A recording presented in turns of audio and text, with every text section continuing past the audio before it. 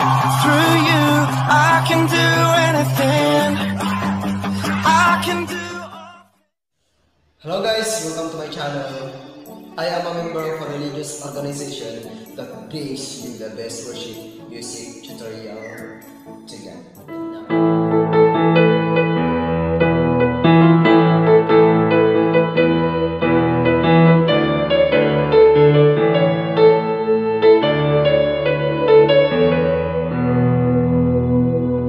Okay guys, our lesson today is Tagalog praise song and this song is Sabik sa presensya mo and this is okay of A.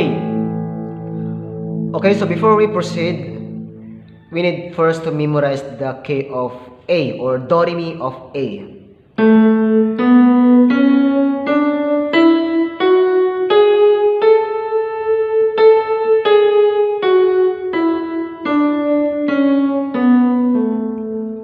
So dyan lamang iikot ang ating melody pattern. Okay, and now proceed po tayo sa intro. Sa intro po natin is double chord po yung gagamitin natin. Okay, so let's start.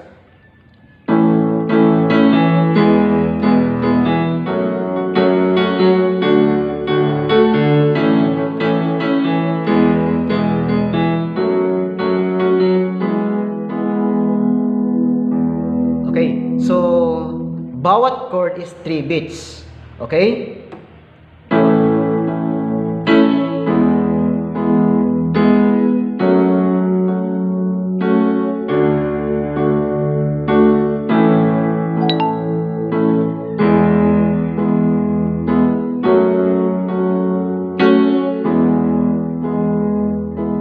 Okay?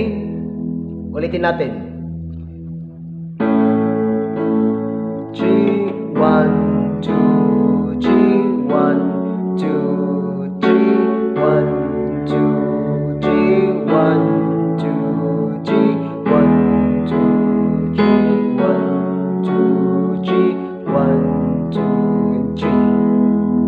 Okay, pag nakuha mo ito, bilisan mo na lamang.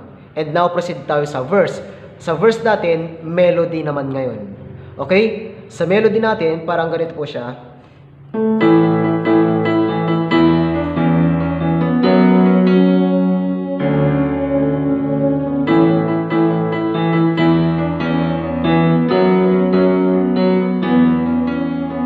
Okay, so play natin ng slow.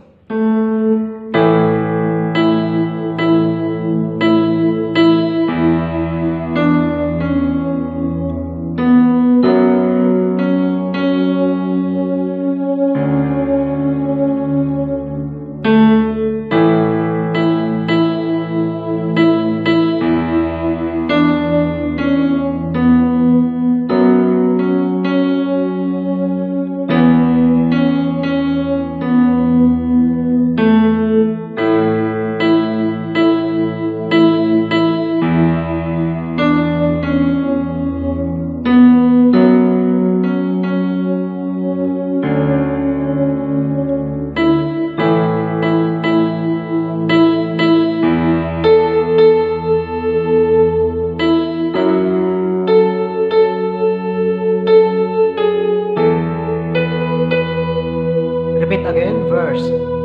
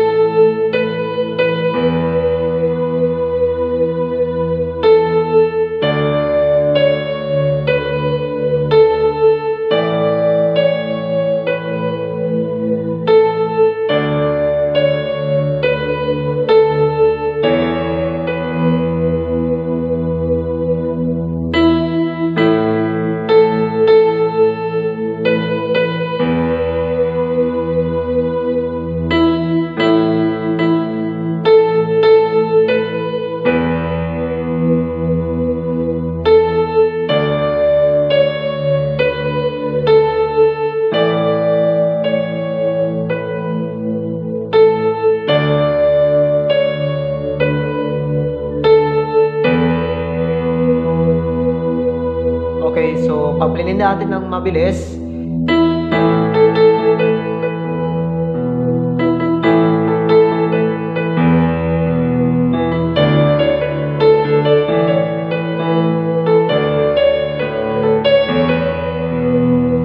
Okay, so that's it. That's it. And that's it. that's it. And thank you for watching and God bless you. Please play a little faster. So that's our lesson today. Thank you so much for watching. And for more worship tutorial, please like and subscribe to my channel. Thank you and